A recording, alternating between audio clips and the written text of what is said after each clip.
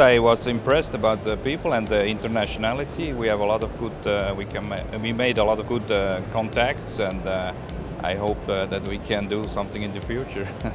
for Actua being in part of the event is very important for us because Geneva and basically mainly Switzerland is an important place for, for the sport industry and we have to be here.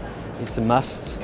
This is the only event of its kind really running at the moment that actually reaches out and actually gets to the turf uh, industry, so it's important for us to come over. Aspire Zone vision is to grow um, and go internationally. We have a very ambitious uh, vision to be the leaders in sports excellence by 2020. So we found this as a great platform to showcase our products and services, and we believe Geneva is one of the places that it's really a sports um, center.